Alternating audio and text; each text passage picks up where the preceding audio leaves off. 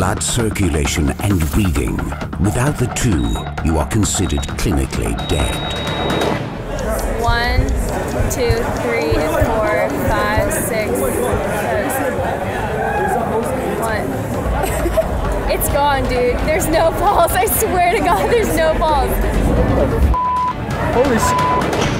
What if you could recreate the effect on any innocent spectator, causing their pulse to stop and technically die for a brief moment? An insane concept that no performer had ever dared to dream of.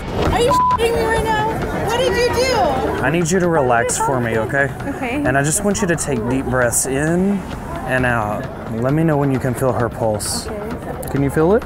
Yes, yes. Count the beats out loud. One, two, three, four, five, six, seven. It's gone.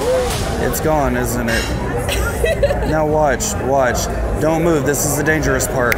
It's back, right? Yeah. From the insane mind of Morgan Strebler and three years in the working, DOA is a miracle that can be performed with nothing prepared. No stooge, no pre-show, and no prop. And always ready to perform miracle that one can start a religion with. This is DOA.